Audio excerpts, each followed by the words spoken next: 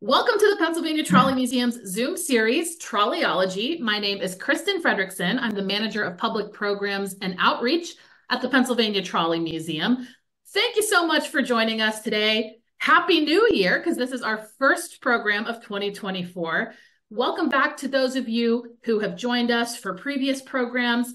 This virtual series features programs on Pennsylvania transit history topics, stories of the trolley era, our collection, um, and occasionally other cities as well with Pittsburgh connection. So um, usually we do these on a Tuesday or a Wednesday, and we're going to continue these as long as we have presenters. So if you have a show that fits our museum mission, please let me know anything about um, the trolley era, especially in Pennsylvania, cities where our streetcars come from.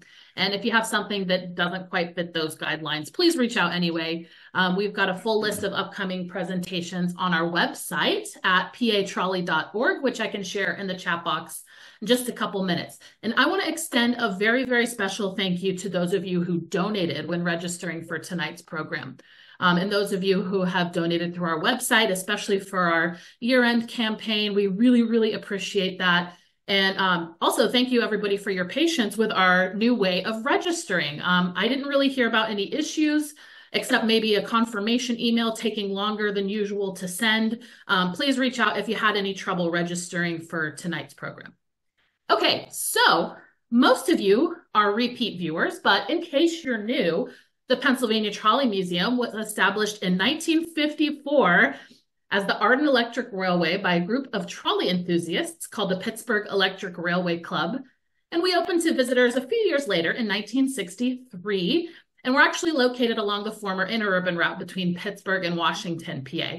And we've got over 50 trolleys and electric railway cars, a couple dozen of them operate, and over 30,000 visitors per year take the four mile scenic ride here at the museum.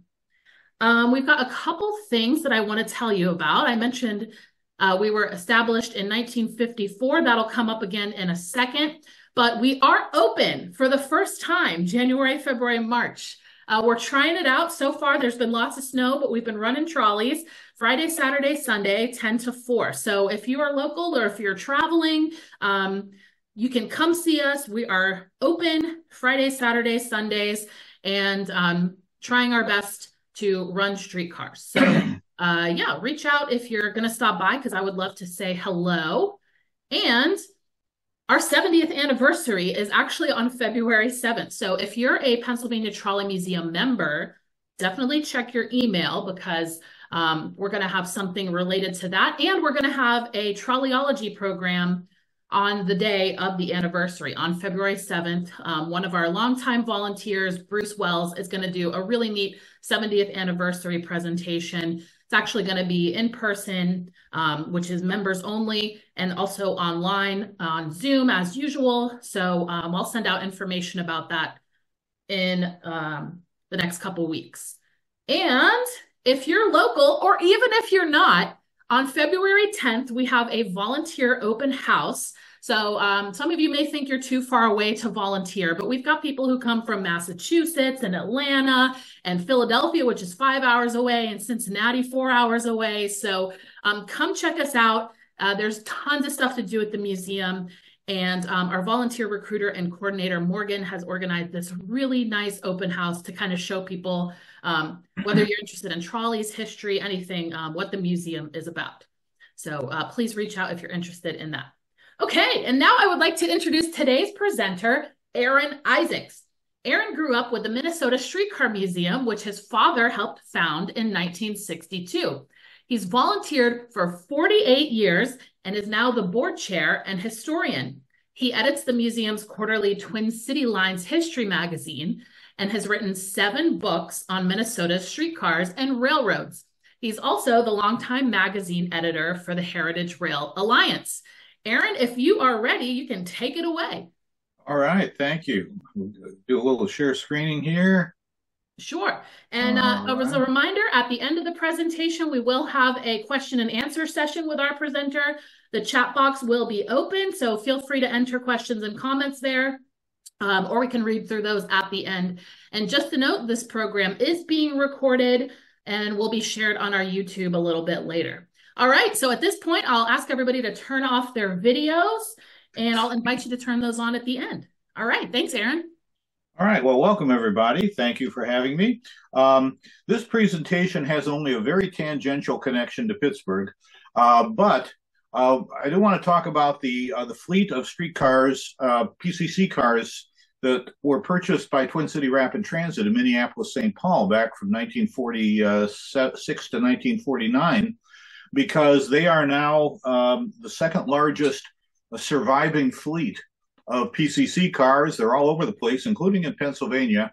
And uh, I thought it was kind of an interesting story. So um, let's get going.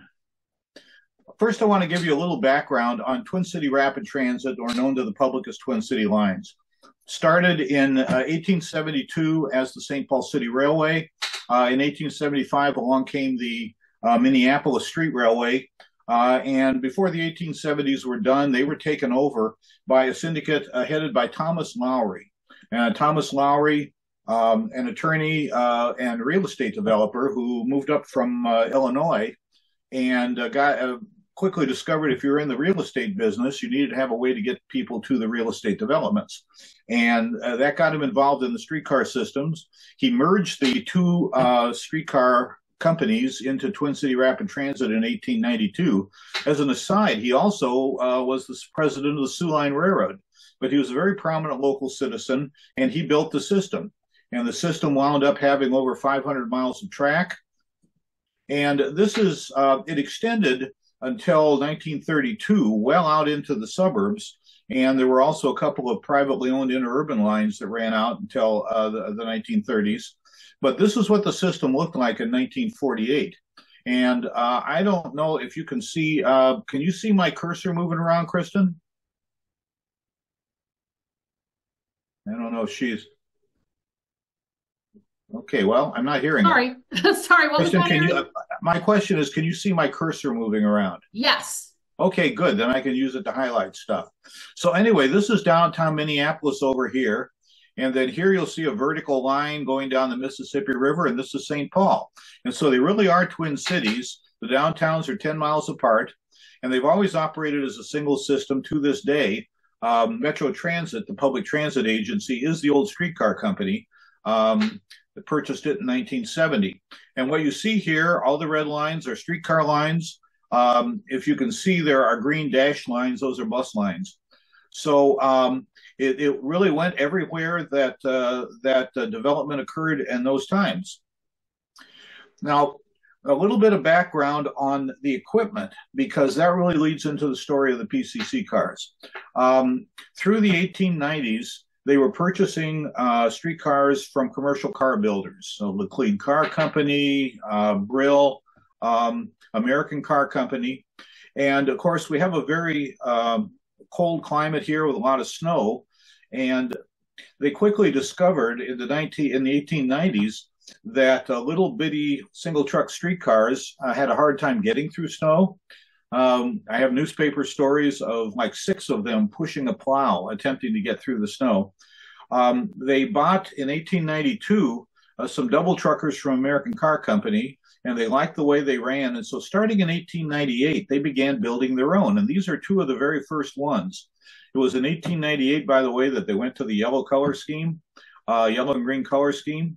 And so they built these standard cars, about 1,200 of them in all, uh, from 1898 through to 1917. And the design gradually um, developed. The original ones, uh, first they, they had hand brakes, and then in 1905 uh, they went to uh, air brakes. And then uh, about the same time, they went to steel underframes. And so they kept refining this design, but it basically looked the same all the way up through the end of 1917. Twin City Lines was the only streetcar company that built every single standard streetcar that it ever owned. There were others like Third Avenue Railway and Chicago uh, and, uh, that built a number of cars, but only Twin City Lines built them all. They also built them for Duluth, Minnesota, and for a few other comp- uh, cities as well. And it was a very kind of vertically integrated uh, company. I liken it, for those of you who are from Pennsylvania, I liken Twin City Lines to being the streetcar equivalent of the Pennsylvania Railroad. whenever they could do it themselves, they just did it themselves. This got all the way down to uh, building their own trucks, building their own heaters. Um, the the uh, overhead wire pole you saw, they had their foundry and they made their own overhead wire poles. They were extremely self sufficient, but they also wound up, like the Pennsylvania Railroad, making them very conservative and hanging on to designs that were so, technically obsolete past their time. And so they started out. Uh, this is one of the last cars they built in about 1917. Um, and so there you see, this is a, a, what we call the gate car, triple stream gates in the back. Everyone got on at the back. And it, of course, they, they found out that uh, they had traffic jams in the back. Everyone had to get on and get off. Uh, and uh, in the back, and as a result, uh, you had congestion there. And so, about 1920, they put front exit doors in them, and uh, they ran some of these until the very end. Um, and so along came the lightweight trend in streetcars, and as well as making them out of steel, uh, generally from about 1915, 1920, 1925, that era. Uh, Twin City Lines developed their own lightweight car. They built about 30 of these, as well as a few for some other cities. Um, no steel, uh, steel underframe, but masonite sides. Um, they built their own truck for it, and they were not incredibly successful, but they pretty much lasted until about 1950. However, alone, I think, among some of the big streetcar companies, Twin City Lines never owned a steel bodied car until they bought PCCs. See what the next one is. Uh, what they did do when the Depression came along and ridership uh, was cut in half from the peak, and the peak, by the way, was uh, 1920. Uh, and so it parallels what happened with other systems. Um, instead of building new streetcars, what they did is they took the old uh, cars and they um, they converted them to what they called one man, two man. And so they put in, uh, they replaced the uh, hand operated gates in the back and the single exit door in the front with air operated double stream doors. And depending on the line, they either ran them with a, with a motorman in the front and no conductor, in which case you entered in the front. And you can see there's a, a sign here that says entrance. That means enter in the front. Or if they were running on a heavy line with a conductor, they would have uh, an enter in the enter in the back or an exit sign up here, and you entered in the back. Um, and so this is the way um, about the last 500 of the streetcars looked, uh, including our streetcar number 1300 that we have at uh, uh, at our museum. Uh, by the way, this is a Nicollet Station, the ladder track going in there. So, oh, uh, here's another view. Um, they they took some of them later, starting in the late 1930s, and they would they uh, steel sheathed them, but other otherwise they were simply the same car. They Twin City Lines had a very high level of maintenance. Uh, they would take them in every five years to the main overhaul shop and tear them down completely and replace everything that was needed. Okay, whoops, I'm, I'm getting ahead of myself here. So, uh, comes along about 1931 32, and the uh, electric president's uh, conference committee is formed to try to go and make the great leap forward in streetcar technology. And what they wanted to do was to get about the 25 largest streetcar companies to invest in this effort, and they invited them to become members. And they invited Twin City Rapid Transit, who turned them down. Uh, they were not the only streetcar company to turn them down, but once again, Twin City Rapid Transit just kind of did things their own way and uh, and so they were not part of the PCC development effort, even though um, even though they eventually bought them. But they bought them um, after almost everybody else in the country had bought them first. Uh, there were only a, only a couple of uh, places that bought them after Twin City Lines. So they made they placed an order in 1944 with St. Louis Car Company for 40 PCCs. Now the order didn't get filled uh, and uh, because of strikes and supply chain issues at at, uh, at uh, St. Louis Car Company. And so in 1945, um, they said, we really do want to try a PCC. And so they diverted car 1547 from the Pittsburgh order and had it brought to the Twin Cities. And here it is at Snelling Shops, which is the main overhaul facility, of Twin City Lines on the transfer table. And they brought it in, and for, oh, about 18 months or so, it was the only PCC in the system. And they made kind of a PR splash with it. Now, by the way, 1547 was an air electric. And in 1945, it was actually a good thing that their order did not get filled because 1945 was when PCC design made the transition from air electric, air meaning air compressor with air brakes, air doors, um, air horn, um, to uh, all electric. And so their delayed order wound up being all electric. But first they wanted to, they did a little publicity with 1547. Um, that is the uh, superintendent of maintenance there. This is posed inside Snelling Shops. And um, that is one of the World War II motorettes. Motorettes was what they were called here. Twin City Rapid Transit said, We're not going to give them a gimmick name. We're going to call them operators. And on her hat badge, it says operator. But they wind up being called motorettes. That, that's Donna Turbis. And she and her sister uh, both uh, hired out uh, starting in 1943. Uh, Twin City Lines hired uh, 474 of them, if I remember the number right. Most of them lasted just through the war, but four dozen of them stayed after the war. And the last one retired in 1980 as a uh, Metro Transit bus driver. So they brought the cameras out. And so, of course, what did you do back then to publicize anything? You put attractive women in it, including one of the real motorettes. And here you are on the transfer table. I'm guessing these are probably women uh, who worked in the office or something at Twin City Lines at Snelling Shops. Here's some of them posed in the car. Um, and you'll notice this is the Pittsburgh um, seating system with uh, side facing longitudinal seats ahead of the rear door. Um, and because it was a World War II uh, construction, uh, you'll notice it is painted steel poles, not stainless steel poles. That was one of the uh, accommodations uh, for that. They do have the Twin Cities car cards in there. Um, I see Gross Brothers Chronics, which was industrial uh, launderers. They're still in business. And here's a bunch of less attractive people in the back of the car. Uh, they must have done some kind of a uh, of a run for local business people. These are kind of chamber of commerce types, I think. And here it is uh, on Fifth Street at Hennepin Avenue, and you'll notice the sign to St. Paul. And the, the premier line in the system, you could argue, was the Minneapolis to St. Paul via University Avenue, which, by the way, has been duplicated by the Green Line Light Rail. And there is a state, there is a light rail station at this exact spot today. Um, one side note: the uh, this line opened. It was the first line between the two downtowns, actually connecting the cities. Before that, the streetcars did not connect with each other between the cities. And that line opened in 1890, and it was called the interurban. And to the best of our knowledge, it is the very first use of the term interurban anywhere in North America. And within Twin City Lines, it wasn't called that to the public, but within Twin City Lines, it was referred to by the operating folks as the interurban until the streetcars quit.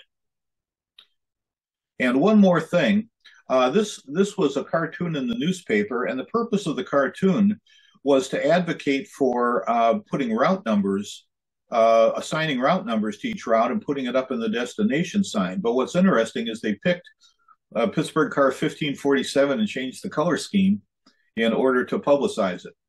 So what happened to 1547? It was retained, was numbered 299, the lowest number to the PCCs, uh, they wound up, uh, there were 140 more that were ordered. This one is passing through the University of Minnesota on the interurban.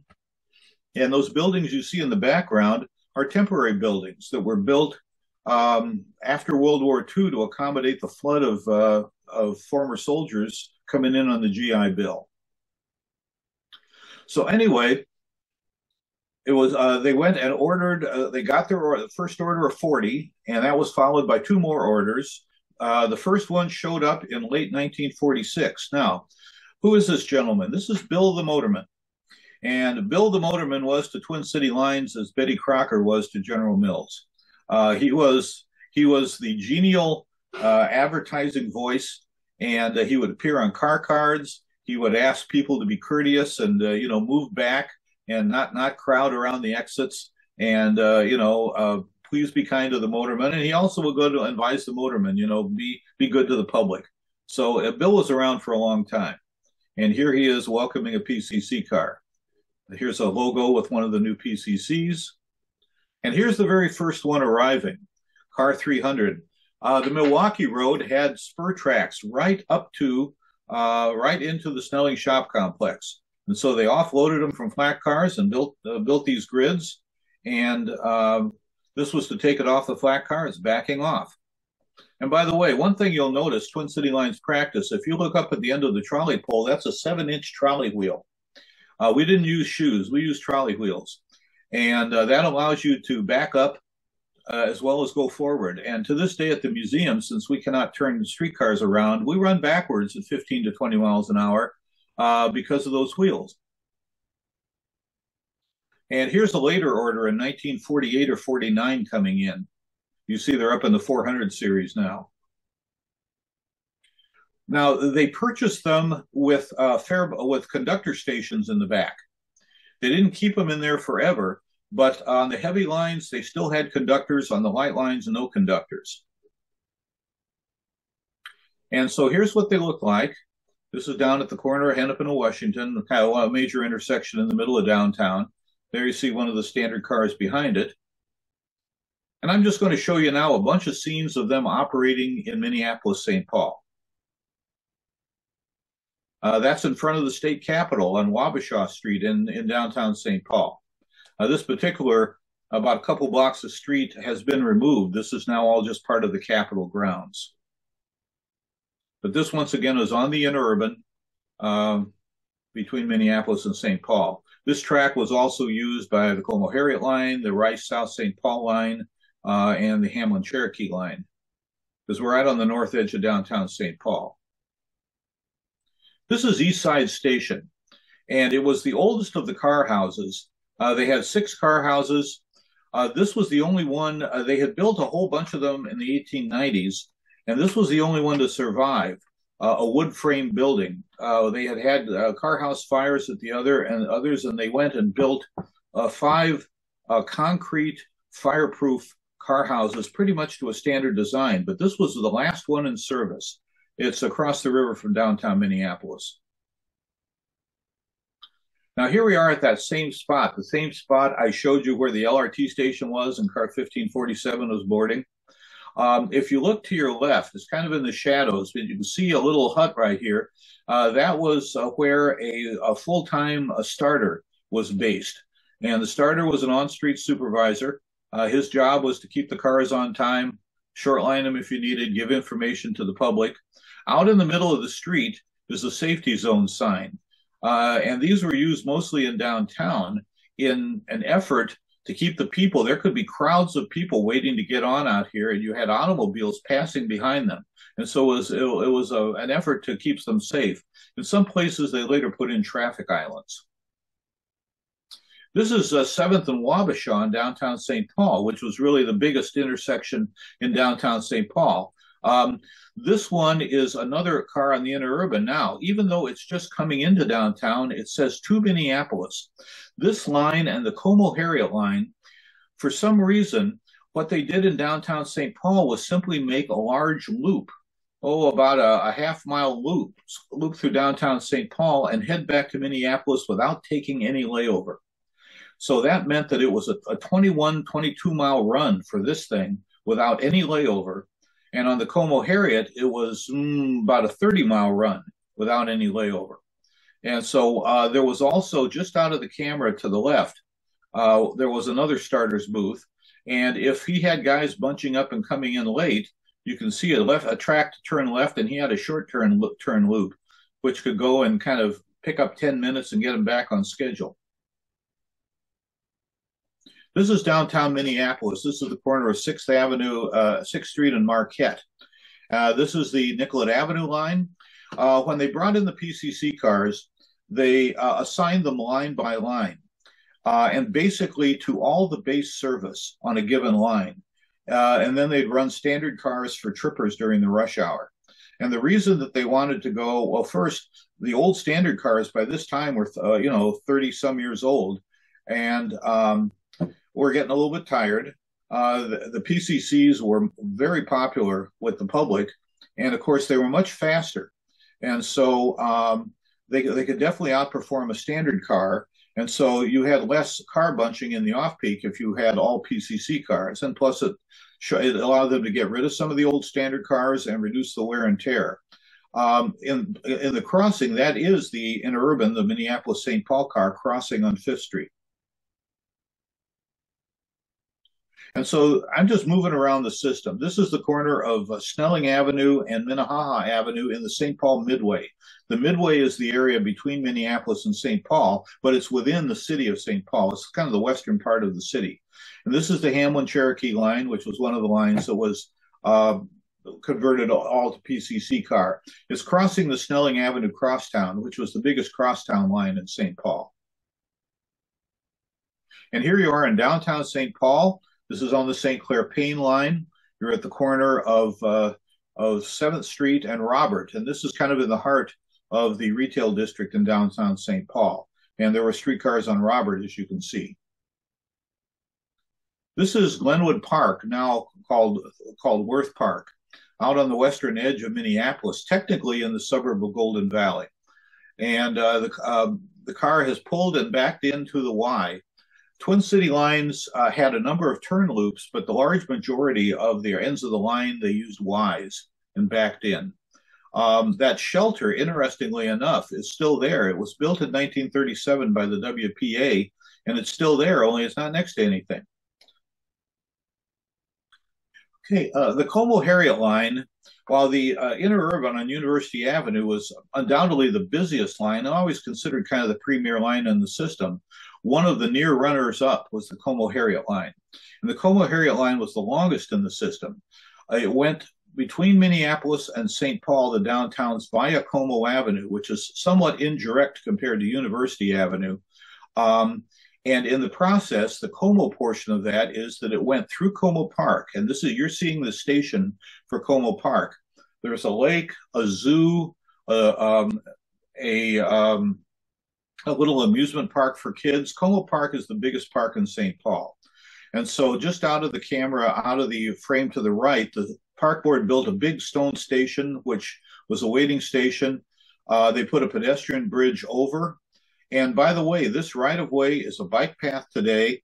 The platforms still exist. The bridge has been redone, and the uh, the station is still used by the park board. And when it has a big meeting room in it, and they put in a terrazzo floor with a uh, with a map of the Twin City streetcar system in the floor, which I think is kind of cool. So anyway, they had about a mile of private right of way through the park, and then they took Como Avenue all the way basically to Minneapolis. And after Minneapolis, they extended all the way into southwest Minneapolis through what we call the Lake District, and then out into the suburb of Edina and Hopkins, and that line, uh, previous uh, until 1932, went all the way another 12 miles out there to Lake Minnetonka. So it's a really big line, and uh, and the most scenic line in the city. There was a lot of private right of way in Southwest Minneapolis as well. It was the last line to operate in 1954. Uh, this is down on the north edge of downtown, uh, where the Nic- Nicollet Avenue and Hennepin Avenue and First Street all converge. Uh, this is a Nicollet car headed for Second Street Northeast. It is just turned off of First Street onto Hennepin, um, where the road bends up here in the future. That's it crossing the Mississippi River onto Nicollet Island and then across. And this is the main post office to the right, and out of the camera to the left is the Great Northern Station, where uh, the Great Northern, Northern Pacific, Burlington, Chicago Northwestern, Minneapolis and St. Louis, and Chicago Great Western uh, have their trains. It was one of two stations in downtown Minneapolis. Uh, this is on the Como Harriet line. It's uh, passing under Linden Hills Boulevard just west of Lake Harriet. And um, underneath where the camera is standing is uh, part of our car barn. Uh, that's where we are today with our streetcar museum. I'll show you a picture later. and this is the Lake Harriet station. And uh, we run there today. It's single track with a passing siding today. Uh, the station was uh, built in 1912 uh, jointly by the Minneapolis Park Board, and the lake is off to the right out of there. Lake Harriet has always been a major uh, destination in Minneapolis, Uh, the, uh, the streetcar company started, uh, held the entertainment franchise for that from 1886 until 1902 and started regular concerts there. And those, uh, the park board took them over in 1902. And in the summer, from uh, Memorial Day to Labor Day, there is a free concert every night at Lake Harriet. And uh, a lot of that is why we are happy to have a streetcar line there because we get a lot of riders. People see us and they come over. We carry about, oh, 25,000 a year there. Uh, so the building was not only a waiting facility, but it had kind of a candy shop, ice cream shop, confectionery, a dining area in it. In the basement, there was storage for the park board and a holding cell for the park board police.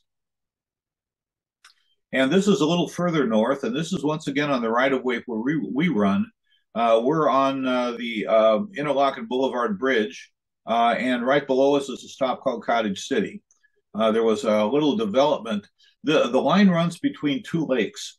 Uh, we have a mile of track here, and on the south side of what was called Lake Calhoun um, was a development called Cottage City, an attempt in the 1890s to sell lake homes, and it was unsuccessful but this is where the streetcar stop was for that, and the stop remained uh, to the end of service.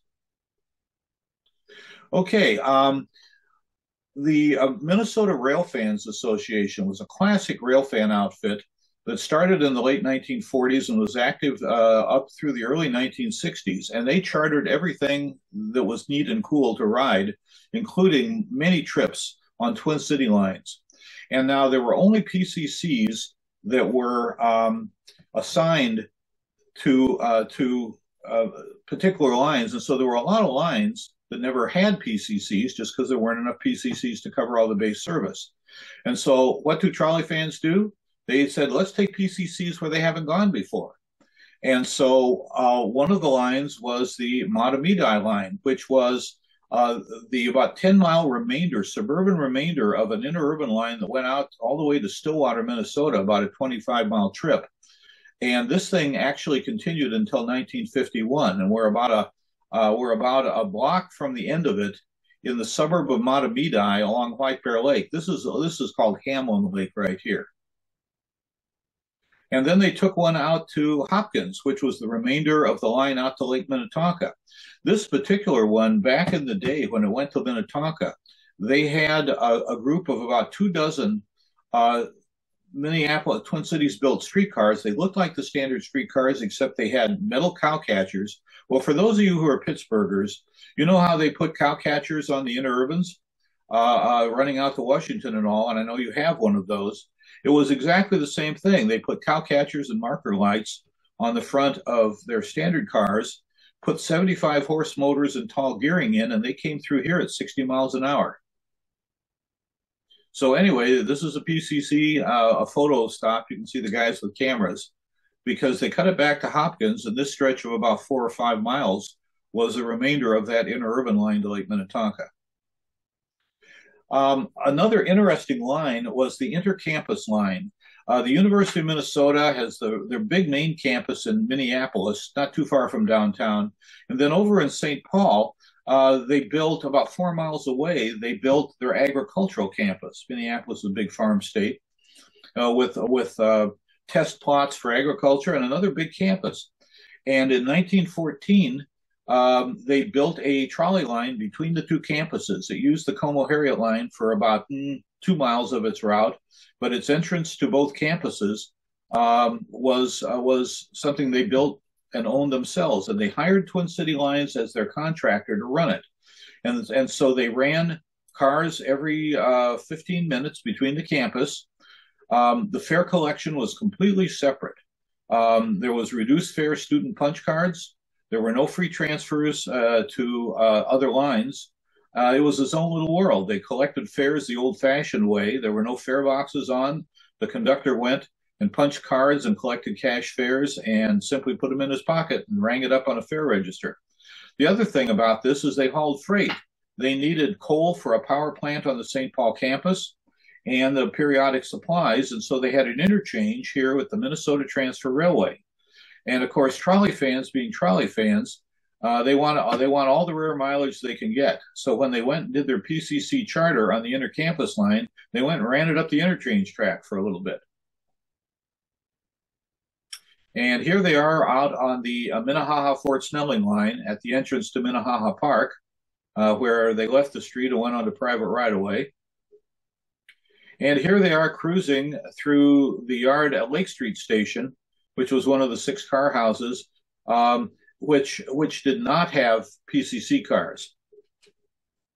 Uh, this particular trip, um, this is they they did it on the Chicago uh, Fremont line, which was a big line, but it had been converted to bus. However, this was one of those legal deals where tra- uh, Twin City Rapid Transit in 1953 converted it to bus before the city of Minneapolis gave formal approval.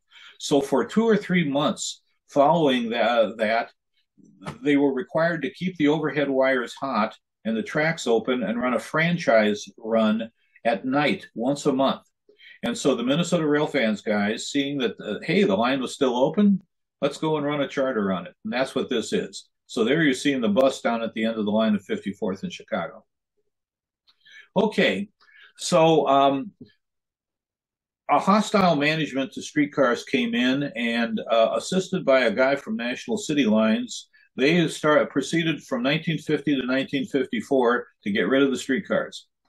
And so um, in 1953, by in 52, they got rid of all the St. Paul lines except those that went to Minneapolis. In 53, they got rid of those. And the last uh, streetcars went in 54. Well, the PCC still had value. Once again, there were 141 of them. So uh, they started selling them in 53. And uh, the first group went to Mexico City. And they hired Twin City Lines to go and repaint them, you know, uh, overhaul them, repaint them, renumber them. And this is one of the uh, Mexico City cars. And what they did with them is they kept the same car number and they put a two in front of them. Um, and so this is uh, this is the uh, superintendent of maintenance for Twin City Line shaking hard uh, hands with the superintendent of maintenance from uh, Mexico City.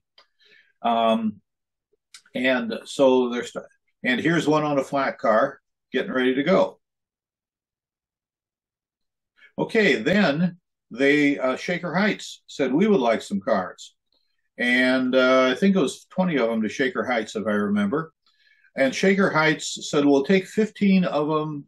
I will take five of them as single unit cars as is, just fix them up for us. But we want the other 15 to be multiple unit. And so they hired Snelling shops to go and MU them. And here you can see the work in process where they're taking off, um, uh, they've taken off the, uh, uh, the people catcher underneath, uh, the, yes, the, the lifeguard, and put in a coupler and uh, new, new bumpers and all that. Uh, here's uh, two of them being worked on. Uh, you can see uh, this one, 345, is going to be MU. This one right here has been repainted. It's going to be one of the single cars. And here's another one they're working with up on the hoist. Here's one parked. And so once again, there's a maintenance superintendent. That's 63, which by the way now is uh, is at Illinois Railway Museum. It survived it's really about the closest thing to a shaker survivor uh, today. Uh, there are some junk shaker shaker cars around, but I think this is the only one. Uh, it's it's operational, um, even though it needs a lot of work. And here uh, here's what the car is getting ready to go out. Okay, now let's look at them where they ran. Here we got a couple of pictures on Mexico City. Now Mexico City modified them. This is as they were originally done. But if you look at this one, they went through several paint schemes, and you'll notice that they uh, it, it, they narrowed the double stream doors. It's just a single stream door. They went and added a window back in. They also went and replaced the windshields at some point, uh, took the wings off. Uh, you'll see the windshield is flat. It's not recessed anymore. And let's see, do I have, okay, uh, here's a later color scheme. You see now they've added turn signals to them. Uh, they've got uh, a left side rear view mirror. And this one shows they put left side doors in. I guess they had for center running like this. I think they probably use center islands. Uh, these are clearly new rear windows, turn signals. Um, So they modified them a lot. Do I have another? Okay, yeah, there's another one that really shows. Um, and they, um, in 1981, they retired them, but they uh, used parts from them to create LRT LRVs with um, articulated LRVs made out of PCC parts. I don't have a picture of one of those, and those ran to like 2000 or 2004, something like that. And they saved one of them, and this one is at the Railway Museum in Mexico City. I don't quite get that the number font, but as you can see, it's got the left-hand doors in it. So it's not operating, but it's there. Okay, now here we are at Shaker Heights. Here's one of the MU cars. Another one running in train. And of course, they uh, they would MU them with the, uh, the, the Pullmans that Shaker bought themselves. And so the Shaker cars, uh, after they were retired, most of the uh, some of them were scrapped, but some went to Buffalo, New York and they were going to do something there in Buffalo, and it never happened. And so a few were sold again to another project that never happened, although it, it looked like for a while it would. And this was the Brooklyn Waterfront streetcar line in Red Hook's uh, a portion of Brooklyn. And uh, there was a guy there, I can't remember his name, but he was he was kind of a transit gadfly, and he tried to make this thing happen all by itself, and it didn't happen. And so this is one of the ex Shaker cars, and it got scrapped. There is 63. Um, and 63 went to, uh, 63 was in the, uh, I'm sorry, was in the um, Trolleyville Lakeshore Electric collection. And if I recall, I think in the sale it went to Electric City Trolley Museum, but I believe uh, they after a while they reconsidered and it went to IRM. So IRM actually has two of the two of these cars, one from Newark and one from Cleveland. And so you can see this is one of the multiple unit ones. Okay, Newark. They simply sold them as is.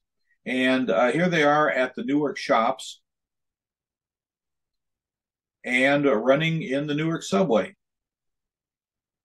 And I, I, I, rode these once. They just went like hell. These cars were very fast. They used to say in Minneapolis, they ran them on University Avenue, and they said they would beat a car off the line. They would top out at about 50 or so.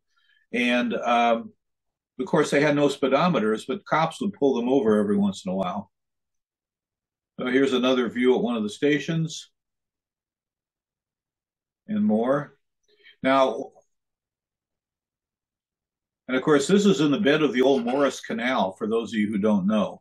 And the line was built in 1935 or 37. It was actually rather late and it had a it had a bunch of off ramps for local lines, but eventually I think it's like 4.5 miles or so was was this just back and forth. And of course, it's since extended with LRT, and so uh, New Jersey uh, Transit uh, took it over, and uh, you know painted the cars this way. Uh, they got rebuilt at various points with new seats and such. Now this is car three. And car three and car, hmm, I'm forgetting the other one, 27, um, were sold in 1978 because uh, Shaker Heights was short of cars. And so these two cars went to Shaker Heights in 78. Now, this is the one that we got. And the reason that we wanted it was after Shaker Heights used it for a couple, three years and then let it sit. The reason we wanted it, it had all the original seats in it. And um, so I'll, I'll tell you the story about that in a bit. Um, when they converted the uh, Newark line to light rail, uh, the light rail cars didn't have the acceleration of the PCCs and they had to lengthen the schedule. Here's number three running at Shaker Heights in the New Jersey paint scheme. So, of course, the final New Jersey Transit uh, with uh, what they call it, the disco scheme, and uh, they put pantographs on them um, they had extended the line um, to a transit center, oh, another mile, half mile or so on the end. And here's what they look like with the pantographs in their last years. That says 24, hmm, 2014. Well, I know they uh, they stopped using these in 2001, so that must be a late copyright. Okay, so where did these go? New Jersey Transit kept a bunch of them for a while and then eventually decided that they didn't need them. And so um, this is at Rockhill Trolley Museum, number six. They had to put a, a front trolley pole on it, but this was the first one uh, of the ones that Newark kept to be uh, restored, restored a few years ago. Uh, this is car 26. That's Matt Non there for all of you who know Matt. And that's a really recent view. That's like in the last week or so. Uh, and they had the car is painted uh, and it's it's well on its way to uh, running again. Of course, it it had to be regauged for Baltimore wide gauge, and it looks like it's just back from the paint shop. And so um, this is now I know this is at Rochester and Genesee Valley Railroad Museum. I'm a little confused as to whether they've got this one or this is the one for New York Museum of Transportation, uh, which is uh, because I, I, thought Rochester didn't have one. I could be wrong on that. But there's several of these that once uh, New Jersey Transit got rid of them that scattered around the East Coast. And so uh, number 25 is at, uh, hmm, now I'm, now I'm forgetting. I think, uh, I, I oh, think Shoreline. Yes, this is Shoreline. Thank you. And um, now here's the other one. We got both of those ones that went to Cleveland and this is number 27. But we didn't have a, per- a need for it. We got them both, uh, and so we traded it to Shoreline for parts. So Shoreline has this, and they have 25. So I don't know if they're going to do one as Minneapolis, one as uh, Newark, or if they'll do two different versions of Newark. Uh, 27 is sort of operational, but not very. Uh, this is at, uh, at Seashore, number five. Okay, now one of them uh, went to Rockhill, I, I, believe, went to Rockhill, but then was purchased by uh, San Diego and completely restored. They also have an ex St. Louis one that they've restored, and it runs uh, the loop from the waterfront and through downtown. This is the only Twin City one that they have. And of course, they numbered it in the San Diego and put it, put it in San Diego colors. Okay, now we get to the 11 that went to San Francisco. And um, they, they took them out there, uh, did kind of a, a, a, mechanical redo and body redo on them, and then quickly discovered that they uh, they had door problems and electrical issues and all. And so they sent them back to Brookville, and they have now been remanufactured twice and running a course on the E line and the F line. And so the 11, as San Francisco has done, has uh, repainted them in the colors of uh, cities that ran them. So this is Detroit, but once again, these are all Twin City cars. Here's Birmingham, Alabama. And there you see a Philadelphia car painted Kansas City in the back. Uh, El Paso, Texas. Cleveland, um, Los Angeles, next to an original Iron Monster from San Francisco. DC Transit in Washington. Toronto. San Diego. Um, I guess that's another Mexico City. Hmm, maybe they did too. I'm not sure. Oh no, no, that's Mexico City. The other one I was thinking about was Detroit. Sorry. Uh, there you go uh, appropriate. That is in newer colors and it's a Twin City car. And of course, the one they painted in Twin City colors. Um, interestingly, the um, I think uh, uh, the, uh, they already had a car in Shaker Heights colors, an ex Philly car. So it would have been appropriate for a Twin City car to be in Shaker colors, but they had one already, so they didn't. Another picture of that. Okay, a word or two about our museum. Uh, we were founded in 1962 to save this streetcar. It's one of two of the standard wood cars that survived. Uh, the other one is car 1267, which is out at the seashore. And uh, the Minnesota, there are two guys from the Minnesota Rail Fans Association, which was our predecessor organization. And in 1954, they went down to the company headquarters and they said, You're getting rid of them. Can we have one? And they gave them this. And uh, it had been uh, through the shop uh, just a few years earlier, one of the last cars to get shopped, so it was in fairly good, decent condition. And it was literally one of the last two cars to carry passengers. Uh, the system quit the last line, which was the Como Harriet line through here, quit uh, June 18th of 1954. On June 19th, the Minnesota Railfans Association chartered this car and car 1775 and made a tour of the remaining track. So anyway, it was put out on an industrial spur out in, uh, in Hopkins, Minnesota, and it sat for eight years and started to deteriorate. And they figured, you know, we got to do something about that. And so uh, they formed our museum. Uh, at the time, the Minnesota Transportation Museum was what we were called. Uh, brought it over to the Minnesota Transfer Roundhouse in St. Paul, and that's where I first got involved. Uh, my father, George Isaacs, joined the group to rehab it. I was 13 at the time. I am 74 now. And uh, I remember dad saying, you know, I, am not sure I'm going to spend too much time on this. And then he was involved for the next 45 years. Um, so they went, they patched it up, put a new canvas roof on it, rigged up a little generator on a hand car, and it ran. And the next summer, we took it out in the railroad, railroad yard uh, and just ran, started running it back and forth about a half mile round trip. And people started showing up. And over the course of several weekends in July of 1963, we hauled 8,500 people. And we all looked at each other and said, What the heck did we tap into here? and we decided we needed to become an operating museum. And we looked all over, and eventually in 1969, uh, negotiated an agreement with the park board to uh, use this abandoned right of way, which was still in, intact, a mile of it, because it was in the park. And so we started operations uh, in 1971, uh, completed our mile of track in 1977, and here you see it as it is today a single track except for the passing siding. Um, and we we've got additional cars.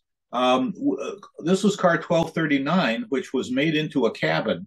They sold a lot of bodies, like everyone did, for cabins. And this thing, you know, no no trucks, no motors or anything. Um, and we had been out there scavenging bodies, and so we had a lot of seats and and things like that. And so this one, it looked exactly the same as 1300. In other words, it was in the one man, two man with the doors. We've backdated it. We had a set of gates. Uh, we got we we had scavenged a set of the bulkheads uh, from uh, car bodies, and so we we've been able to backdate it. Right now, this car is out of service because we're building new trucks.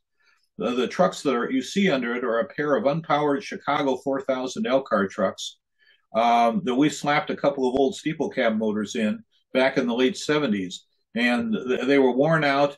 And so uh, we're in the process of using some of the components off uh, we got some Peter Witt motors from uh, Toronto, completely rebuilt them, and uh, we're in the process. We've cut new components, and we're in the process of manufacturing new trucks for this. Probably be another year or so.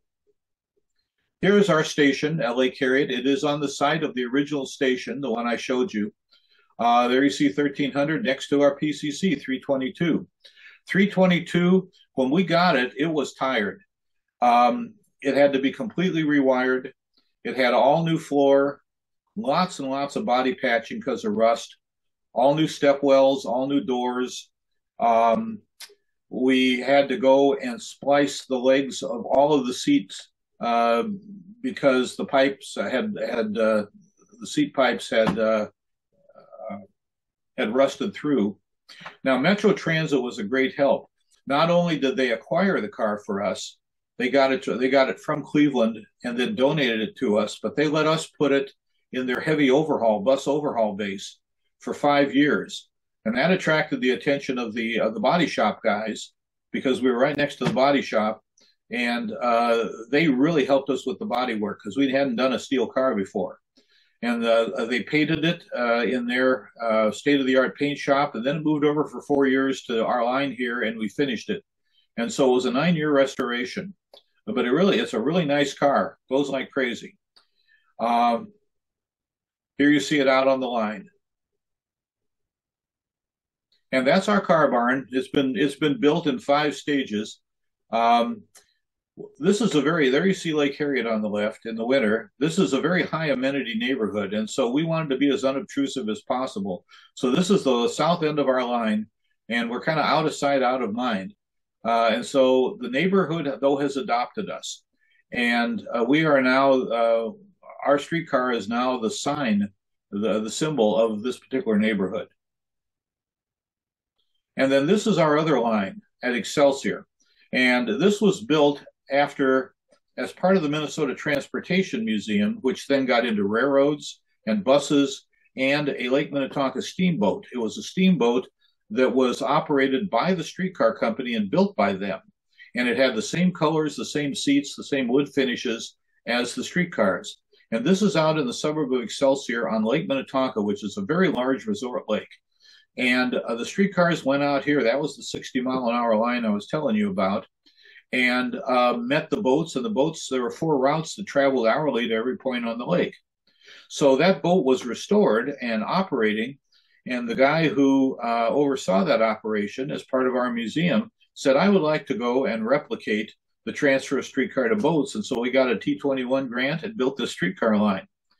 Well, uh, it never met the boat. It comes near, but it doesn't meet it. And the boat guys really didn't care anything about streetcars. And so we, the streetcar guys, took it over. And when the Minnesota Transportation Museum split into three in 2005, it had become really just too big and unwieldy. Um, and so the Minnesota Transportation Museum is now the railroad part at Jackson Street Roundhouse in St. Paul and the Osceola and St. Croix Valley Railway, tourist railway between Minnesota and Wisconsin. That's the Transportation Museum. Uh, the steamboat became the Museum of Lake Minnetonka, and we split off in 05 and became the Minnesota Streetcar Museum, and, and including this line. And so, um, um, and by the way, this worked out best for all three organizations. It decentralized management, and it, it really it kept the money separate, and it was a win-win all around. Uh, these are our other cars. Uh, on the left is Duluth Car 265, which was built in 1915 for Twin City Lines. Twin City Lines built all the streetcars for Duluth, which was a subsidiary. And so Duluth needed streetcars in World War One, and they sold this to them. And when they unmanned their cars in 1928, they did it a little differently, which is why that front end is kind of asymmetrical. Next to it is a car 78, which was a little a Laclede single trucker from 1892 that was built for Duluth and wound up as a shed in someone's backyard. And it was really just a shell. And we debated whether or not to even try to do anything with it. But then one of our members uh, bought a, a Brill uh, power truck from Brussels, Belgium, and that was the impetus. And so now it, it goes like crazy. And of course, it's a little hot rod because in Brussels they hauled trailers with it. Uh, and then the car on the right is a Winona, Minnesota number 10, which was built by St. Louis Car Company. It's a single trucker, although you can't see it. Um, and it's uh, in 1912, and it's like a pre Birney wood composite, wood steel composite single trucker. And it ran in the town of Winona, Minnesota until 1938. Uh, and it became a cabin and it went for sale, and we got it. Uh, and it was a 15 year restoration effort, which is just completing. Um, and so it, it, it, runs now. And uh, the power truck under it is a story in itself. Um, it, it, was, it was built with a DuPont power truck, which was an, a power truck that they last stopped building in 1915. Uh, St. Louis Car Company built them. And we uh, we said, well, is there any chance of finding a DuPont power truck? Well, there were there were um, three of them in existence. Um, two of them under streetcars at museums already, and one that was in the Trolleyville collection. And it was in the Trolleyville collection because it had been used to um, to electrify a Lancaster, Ohio horse car back in about 1900. And the Lancaster little system quit in about 1935, and the people who owned it put two of the cars, including the car that was the former horse car, uh, in a shed and kept them. And the Ohio Historical Society found those cars, took the um, the horse car, removed the power truck, backdated it to a horse car, and the truck wound up in the Trolleyville collection. And just at the time that we were restoring this car, Trolleyville conveniently went out of business and we were able to buy the truck. So it's got the right power truck under it, believe it or not. Now, I think this is my last. Oh, I'm sorry. I got one more slide and this is it. So I went on there. There is an excellent website that is done by uh, Jeff Hackner at Connecticut Trolley Museum, and um, oh, I'm, I'm I'm blocking on his name at Illinois Railway Museum. Um, and it's the surviving electric cars. And these guys have found every body, every car, and it's very up to date on the status of those cars. And so when I was doing this, I thought, I wonder how many PCCs are still around and where were they originally from? And I, if you can read this, you can see the biggest fleet is Philadelphia. There are 85 of them. There's a total of 307, followed by Toronto and Boston PCCs, followed by Twin City, Twin City lines, then Pittsburgh, St. Louis, San Francisco, Kansas City, and so on down the line. Um, of course, a lot of them, you know, were sold to other cities, but these are the original cities. And I also went through and discovered that 107 of them are either operable or are actively under restoration. And I don't have it up here on a slide, but just so you know, the Philly cars are the are the most in operation or restoration, 36 of them. And of course, that a lot of that has to do with them running them on uh, on uh, on on that line. Um, next in line are the Twin City cars with 16 operational, followed by 14 Toronto cars, 12 original San Francisco cars, and seven Boston cars which are mostly the ones that are running on, on Ashmont Mattapan. Folks, that is my uh, that is my presentation. I'm going to stop sharing screen and turn it back over to you, Kristen. Excellent. Uh, thank you so much, Aaron. Uh, I am going to uh, get to question and answers in just a minute. So if you'd like to type one in the chat, feel free to do that or uh, just hang on. I'll let you unmute in just a minute. But really quick, before we get to that, I did want to let everybody know what's coming up. Um, I mentioned earlier, we've got our 70th anniversary trolleyology um, February 7th. And if you are a member, please check your email because there are details about an in-person version of that in your inbox today. Um, and then uh, we've also got in February a Beaver Valley traction presentation coming up from George Gula.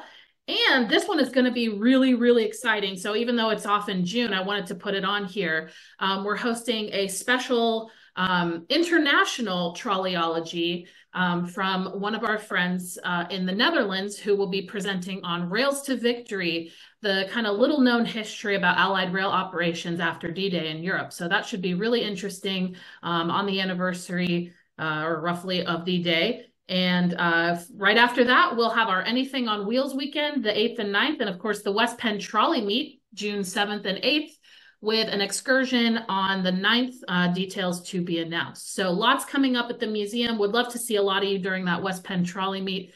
It'll be a lot of fun. And uh, I want to thank everybody again for joining us and especially Aaron for sharing that presentation. Um, if you'd like, you can support the Pennsylvania Trolley Museum at patrolley.org slash support, which I'll pop in the chat in just a second here.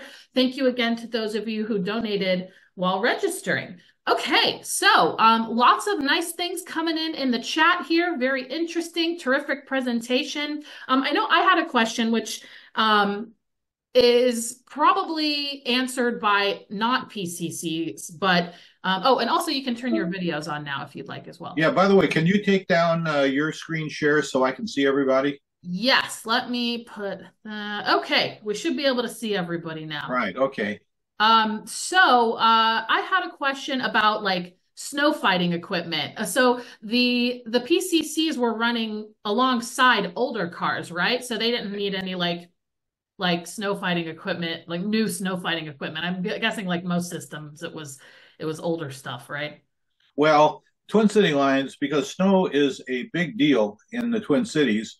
Um, they had 17 heavy plows that uh, that they plowed the streets with. They had sand and salt cars.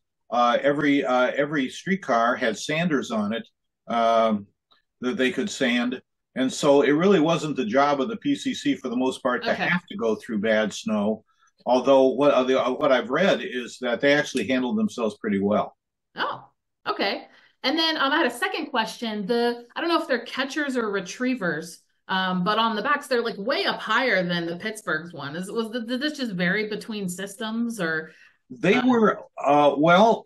It was actually on car. Uh, I'm sorry. for some reason, Twin City Lines put them up there.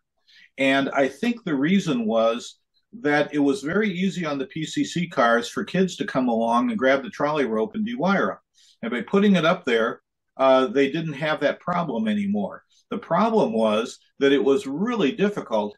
Um, you had to lean out the window and uh, and try to find the trolley rope. And they actually went and put a an upward facing mirror on the rear of the car, so you were supposed to look down and see where your hands had to go.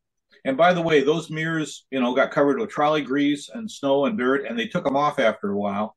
And I have one photo of a shop man, and he's leaning out the rear and he's twisted around and looks terrifically uncomfortable, but he's pulling down the trolley rope.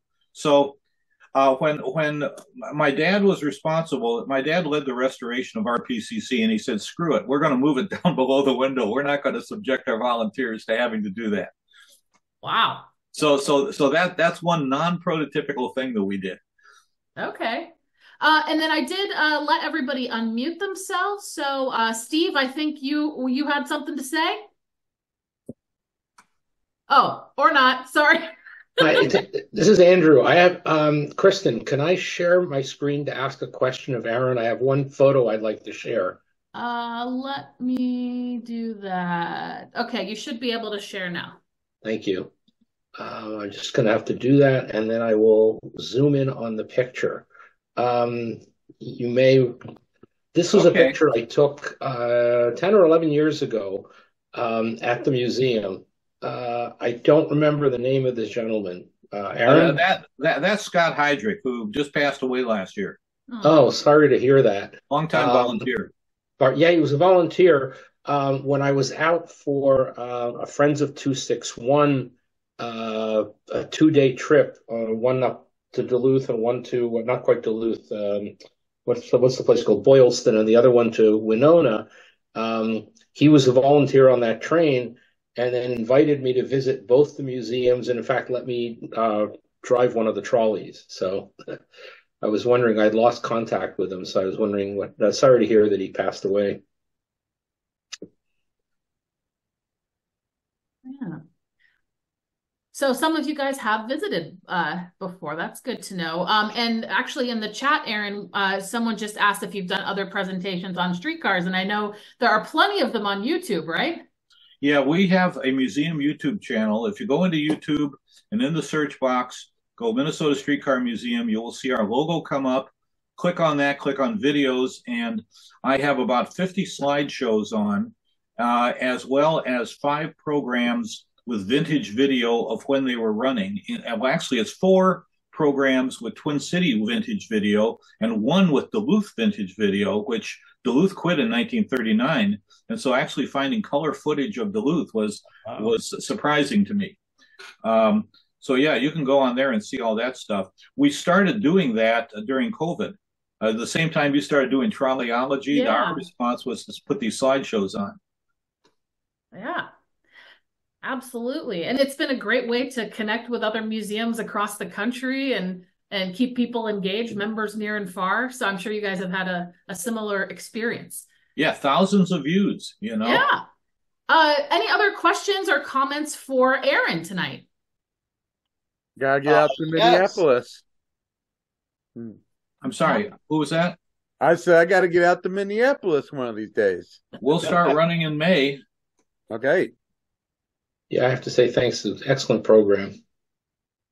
Kristen, could I uh, share the screen for a moment? Because uh, I have a question for Aaron about the uh, intro picture he had in front of the state capitol. Uh, sure. I, I, I, took a couple of pictures, uh, Aaron, of the uh, LRT line around the state capitol. And can you tell me where these are in relationship to the photo that you had in the intro? This one. Okay. Um, let's see, where are we? Oh, yeah, we're at Park. Okay. Um, the streetcar, uh, the light rail goes behind the Capitol. The uh, streetcar went in front of the Capitol. So you're looking at the east behind the Capitol. And the reason they went that way was uh, to uh, access a major hospital that's about two blocks east of the Capitol the largest hospital in St. Paul. Now, um, the the LRT is on University Avenue.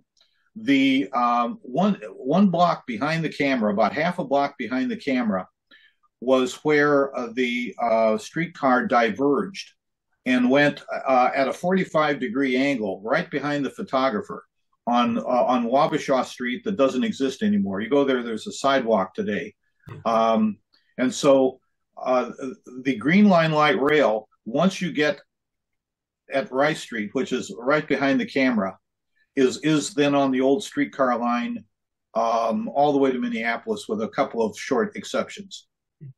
Is this the side of the uh, Capitol that I have up there now? Where? Yeah, the, uh, what you're you're looking east, and the, the, light rail is on the north side of the Capitol. The streetcar ran on the south side of the Capitol. I, I just put another image up, Aaron. So. Oh, I haven't seen oh, it yet. Uh, yeah, we can we can only see the last one. You might have to do a new share, Richard. Oh. Um, let me. There, there, may be people dumber at technology than me. I haven't met them. Uh, okay, I stopped you sharing that one, so now you should be able to share your next photo. Okay. Um,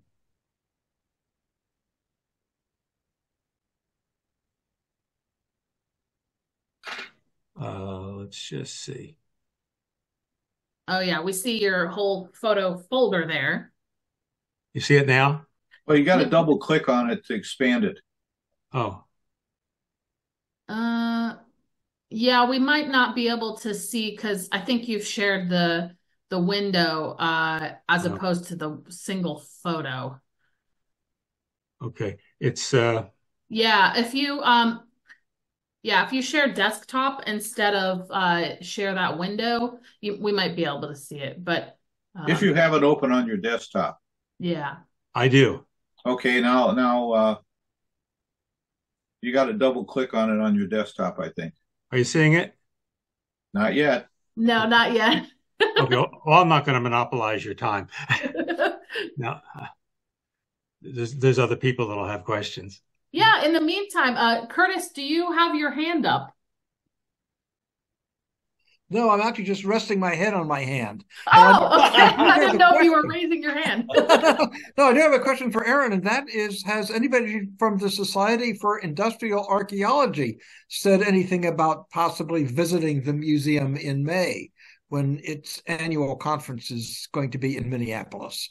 Well, I know about the society, but I didn't know they were meeting here, and uh, I haven't heard from them. So, uh, are, are, are you one of them? Well, I, I intend to be in Minneapolis in May for that that meeting. Uh, I'm not one of the organizers. I'm not sure who's organizing that particular conference, but I suppose huh. I will uh, send a note uh, asking around. By the way, I, oh, when when in May is it? Do you know? let's see. I'll, I'll, I'll go to the other computer where I've got the calendar easy to see and be back. That's fine. Yeah, you can come back. In the meantime, uh, does anyone else have questions or comments for Aaron? Uh, yes. Go uh, ahead. Fred, Fred Cosgrove. Um, very good presentation, Aaron. Uh, but on the last slide, I noticed uh, you didn't have Detroit listed for PCC. Hmm. Uh, hang on a minute. Yeah, because there's uh well well well I I thought I had it on there. Well, I did see it. Well, just a minute here. Let me uh oh, you know, I did leave it out, didn't I? Okay, sorry about that. I did yeah, they have... they're, they're, they're included in the 307, but I forgot to go and put it on the slide. So okay. sorry about that. You know they got two PCCs. Yeah. Yeah. Well, I mean, you know, yeah. Yeah one from uh, Detroit, one from uh, Toronto. Mm-hmm. By the way, you're not related to Pat Cosgrove, who is one of our volunteers. Uh, is it? Are you? No, but okay. I did have an Uncle Pat, so that's no. about as close as can come. All right. okay, Curtis, you're back. Did you want to report back? Yes, yes. Uh, I actually stuck it in the chat. The uh, the oh. SIA meeting is going to be from the 16th to the 19th of May. Okay. Well, the reason I'm saying that is that on the 18th and 19th, which is the Saturday Sunday, there is a big event called Doors Open Minneapolis. Uh, maybe you, maybe there's Doors Open ones in other cities as well, where you get to go behind the scenes of, and there's like a hundred venues, and we're one of them. And so we're open for car barn tours um, on on the 18th and 19th from 10 a.m. to 5 p.m. So, uh, and by the way, if if you're guys, I mean, there, there's every kind of place you can think of, uh, government, industry, retail, you name it, that are opening the behind the scenes stuff on the 18th and 19th. I'll bet they know about that. But I'm thinking frequently, you know, the Sunday, the, the usually cut- the papers are on Saturdays, and then Sundays they'll often have kind of an extra tour in the morning and maybe nothing in the afternoon. Because I remember when the conference was in St. Paul, it was the St. Paul Railroad Station that we toured on Sunday morning. Okay, well, in any event, if they don't know, let them know. So, uh, Yeah. All right. Uh, any questions for Aaron about his presentation? All right. Well, I think we're going to wrap it up there. Uh, thank you again, Aaron, for your presentation. We'll have this on YouTube within the next few weeks. And in the meantime, you can go edu- educate yourself on the Minnesota Streetcar Museum uh, YouTube and watch tons of historical uh, slideshows and like hours and hours of Aaron presentations. It's, it's good stuff, really. Um, and thank you again for joining us for our first program of 2024. Um, and I hope we will see you either at the West Penn Trolley Meet or some other time during the year, either online or in person at the museum. Oh. And uh, if you have an idea for a trolleyology, please reach out. Um, you can email me at kfred at patrolley.org. And uh, have a wonderful rest of your week, everybody.